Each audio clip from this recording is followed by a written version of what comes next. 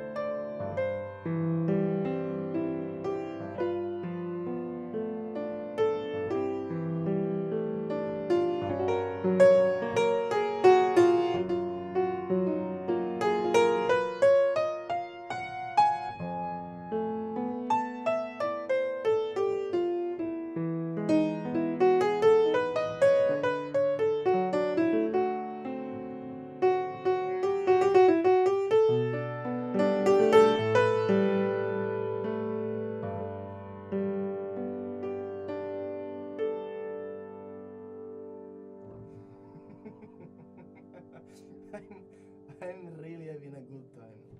Really.